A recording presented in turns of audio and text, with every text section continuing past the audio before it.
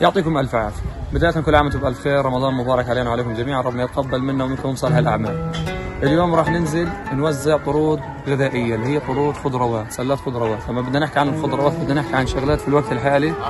شبه شحيحة ولو توفرت تتوفر وبأسعار غالية.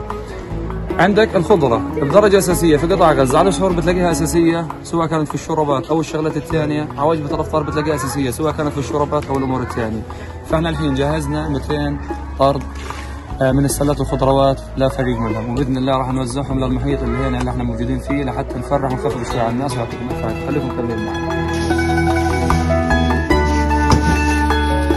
في عندك ست أصناف في الوقت الحالي لو بدنا نحكي عنهم شغلات متوفرة بدنا نحكي عنهم حشيش ليش؟ بندورة اسعارها فوق عندك بصل عندك باذنجان عندك بطاطا كلها شغاله بالعبيد الحمد لله سلامتك يا حبيبي يلا. امشي يا رب يا ساتر. كل عام وأنتم بخير حبيبي. كل عام وأنتم بخير حبيبي شيخ تاكلوش منها بصل يعطيكم ويرضيكم رب العالمين. كل عام وأنت بالف خير رمضان مبارك. علينا وعليكم طلع لسانه يشوف مسطرة